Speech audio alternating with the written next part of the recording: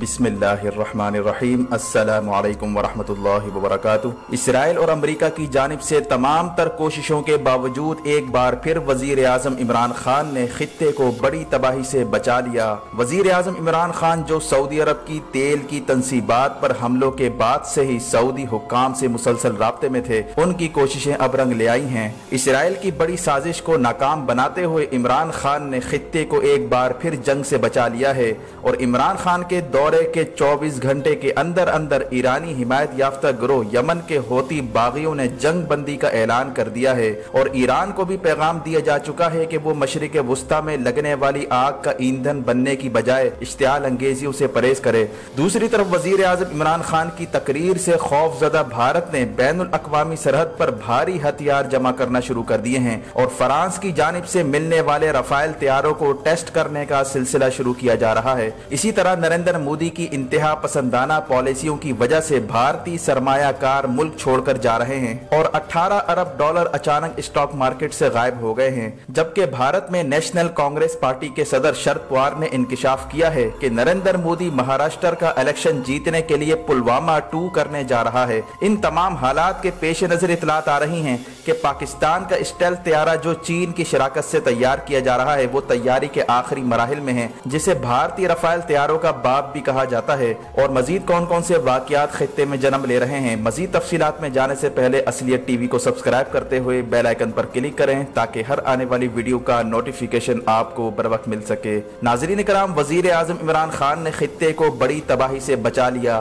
اور اسرائیل کی سازش کو خاک میں ملا کر رکھ دیا۔ سعودی عرب کی تیل کی تنصیبات پر حملوں کے پیچھے کسی تیسری قوت کا ہاتھ بھی ہو سکتا ہے اور اس پر بڑی سنجیدگی سے سوچ و بچار بھی جاری ہے۔ اور پاکستان اور دیگر ممالک کی جانب سے انٹیلیجنس شیئرنگ بھی ہو رہی ہے۔ ایسی صورتحال میں اصلیت ٹی وی نے پچھلی ویڈیوز میں بتایا تھا کہ وقت آ گیا ہے کہ ایران، یمن میں ہوتی باغیوں کو سپورٹ کرنا بند کرے اور انہیں کروز میزائل اور ڈرون تیاروں کی سپلائی بند کرے تاکہ یہ معلوم ہو سکے کہ آخر وہ کون سی طاقتیں ہیں جو خطے کو جنگ کی آگ میں دھکیلنا چاہتی ہیں۔ اور اب وزیر اعظم عمران خان کے دورہ سعودی عرب کے نتیجے میں اہم ڈیولپمنٹ سامنے آئی ہے۔ یمن میں جاری پانچ سالہ خانہ جنگی ختم ہونے کے قریب ہے۔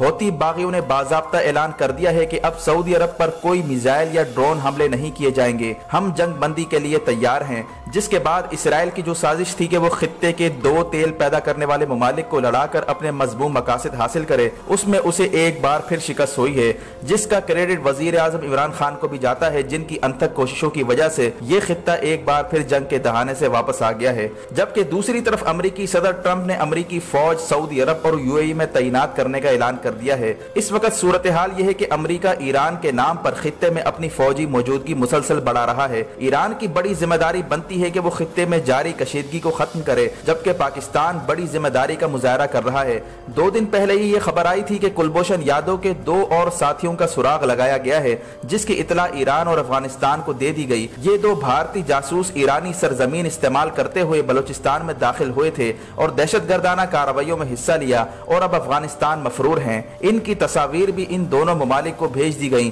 لیکن پاکستان نے ذمہ داری کا مظاہرہ کرتے ہوئے اب تک ایران پر الزام نہیں داغا۔ ورنہ ماضی میں کئی بار دیکھنے میں آیا کہ اگر ایران میں کریکر دھماکہ بھی ہوتا تو اس کا الزام پاکستان پر بلا سوچے سمجھے لگا دیا جاتا۔ یہی نہیں، ایرانی جنرلز نے کئی بار پاکستان کے خلاف اشتعال انگیز بیانات دیے۔ دوسری طرف پاکستان کا رویہ دیکھ لیجیے۔ یہی پاکستان ہے جو خطے میں امن کا ضامن بنا ہوا ہے۔ کبھی مشرق وسطی کے جھگڑے سلجھا رہا ہے اور کبھی خطے کو جنگ کی آگ میں دھکیلنے سے بچا رہا ہے۔ تو کبھی جنوبی ایشیا میں بھارتی شرنگیزیوں کا تن تنہا مقابلہ کر رہا ہے۔ اس وقت پاکستان کو جو چیلنجز درپیش ہیں، اس کا بیس فیصد بھی اگر ایران یا کسی عرب ملک کو درپیش ہوتا، تو وہ ٹکڑے ٹکڑے ہو جاتا۔ ایک وہ وقت تھا جب ایک دن میں پانچ پانچ دھماکے ہوتے تھے۔ بلیک واٹر سی آئی اے اور نہ جانے کتنی خفیہ ایجنسیوں کو زرداری نے ویزے جاری کیے تھے اور انہوں نے ملک میں دنگا فساد مچا رکھا تھا۔ لیکن پھر بھی پاکستان اللہ کے فضل سے قائم و دائم ہے اور تمام چیلنجز سے سرخرو ہو کر نکل رہا ہے۔ پاکستان نے ستر ہزار جانوں کا نذرانہ پیش کیا۔ یہ جو قربانیاں ہیں، یہ کسی ملک کے بس کی بات نہیں۔ اسی لیے پاکستان بڑے پن کا مظاہرہ کرتے ہوئے ایران اور عرب ممالک کے درمیان تصفیہ کروانے کی کوشش کر رہا ہے۔ پاکستان کو معلوم ہے کہ جو خودکش حملے اور دہشت گردی کے واقعات پاکستان نے برداشت کیے، اس کی سکت نہ تو عرب ممالک میں ہے اور نہ ہی ایران میں ہے۔ ان ممالک نے نہ تو خودکش حملے دیکھے ہیں اور نہ جنگیں دیکھی ہیں۔ پاکستان واحد ملک ہے جو پچھلے بیس سال سے مسلسل حالت جنگ میں ہے اور بیک وقت کئی محاذوں پر کئی ممالک کی انٹیلیجنس ایجنسیوں سے لڑ رہا ہے۔ لیکن افسوس کی بات یہ ہے کہ جب کشمیر کی بات آتی ہے تو ایران کی جانب سے رد عمل آنے میں پندرہ سے بیس دن لگ جاتے ہیں اور محض سرسری سا بیان دے کر دامن جھاڑنے کی کوشش کی جاتی ہے اور عرب ممالک کو اپنا بزنس یاد آ جاتا ہے، لیکن اس کے باوجود پاکستان خطے میں امن کے لیے اپنا کردار ادا کر رہا ہے۔ چین نے حال ہی میں ایران میں چار سو ارب ڈالر کی سرمایہ کاری کا اعلان کیا، جسے ون بیلٹ اور ون روڈ کا حصہ بنایا گیا۔ اب سوچنے کی بات یہ ہے کہ اگر چائنیز کمپنی ایران میں سرمایہ کاری کرتی ہے اور وہاں پر تعمیراتی کام میں حصہ لیتی ہے، اور اسی اسنا میں کوئی شخص پاکستان سے ایران میں داخل ہوتا ہے اور دہشت گردی کر کے ایران میں تعمیراتی کام کرنے والوں پر حملے کرتا ہے اور واپس آ جاتا ہے، تو بتائیں ایران کا کیا رد عمل ہوگا؟ اگر ایران کو گوادر پر تعمیراتی کام پسند نہیں تو کیا اس کا یہ مطلب ہے کہ بھارت کو پاکستان کے خلاف ایرانی سرزمین استعمال کرنے کی اجازت دی جائے؟ اگر یہی حملے ایرانی بندرگاہ چاہ بہار پر ہو رہے ہوتے تو ایرانی رد عمل کیا ہوتا؟ اب تک پاکستان ذمہ داری اور بردباری سے کام لیتا آیا ہے، لیکن پاکستان نے خطے میں امن کا ٹھیکہ نہیں لے رکھا۔ ایسا نہیں ہو سکتا کہ پاکستان تو پڑوسی ملکوں کے ساتھ عمل کی بات کرے، لیکن انہی ممالک سے پاکستان کے خلاف سازشیں چل رہی ہوں۔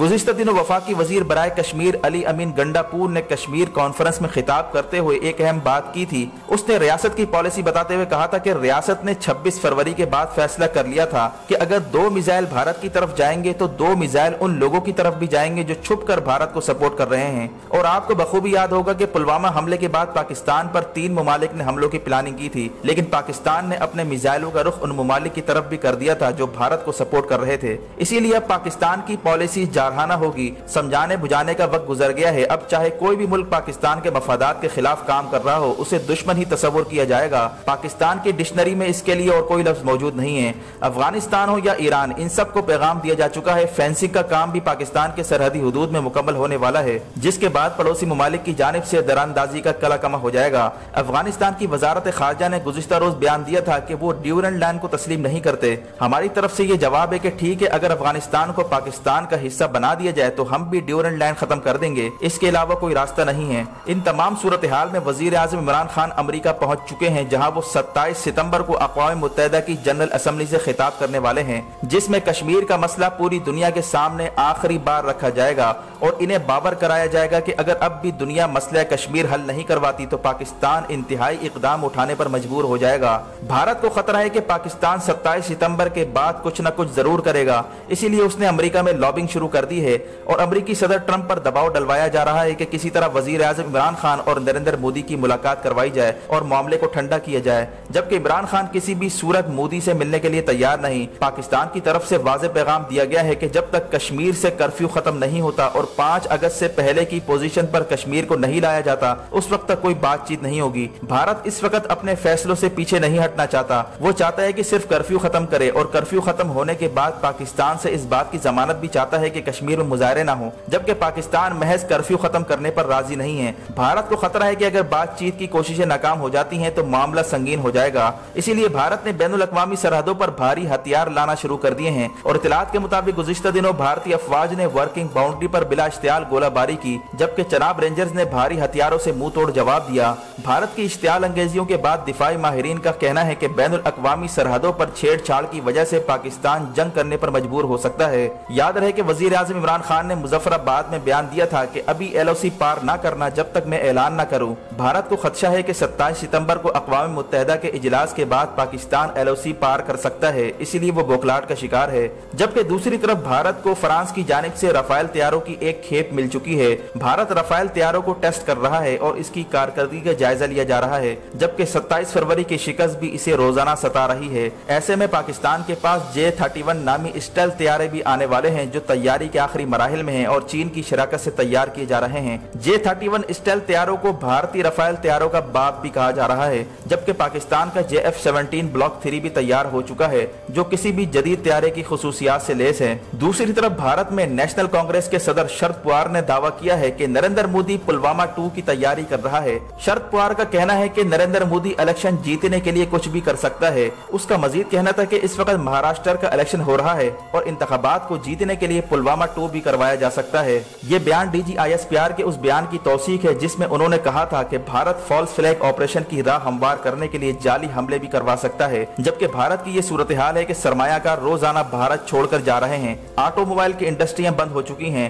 بھارتی سرمایہ کاروں نے اٹھارہ ارب ڈالر اسٹاک مارکیٹ سے نکال لیے ہیں، کیونکہ جنگی حالات میں کوئی سرمایہ کاری نہیں کرتا۔ بھارت نے کشمیر میں مسلسل کرفیو لگا رکھا ہے۔ پاکستان کی جانب سے سرمایہ کاروں کو وارننگ دی جا چکی ہے کہ بھارت میں سوچ سمجھ کر سرمایہ کاری کریں۔ کہیں یہ نہ ہو کہ ان کی سرمایہ کاری بھی ڈوب جائے، کیونکہ مودی کی انتہا پسندانہ پالیسیاں خطے کے امن کے لیے خطرہ ہیں۔ وزیر اعظم عمران خان کی کوششوں کی وجہ سے مشرق وسطی ایک بار پھر بڑی جنگ سے بچ گیا ہے۔ اب دیکھنا یہ ہے کہ وزیر اعظم عمران خان کی اقوام متحدہ کی تقریر کے بعد کشمیر کا مسئلہ مذاکرات سے حل ہوتا ہے یا اس کے لیے بھی انگلی ٹیڑی کرنا پڑے گی؟ ویڈیو دیکھنے کا شکریہ۔ ویڈیو کو لائک کر کے شیئر کیجیے اور کمنٹ سیکشن میں اپنے خیالات کا ضرور اظہار کیجیے۔ اپنا اور گرد و نواح کے لوگوں کا خیال رکھیں۔ فی امان اللہ۔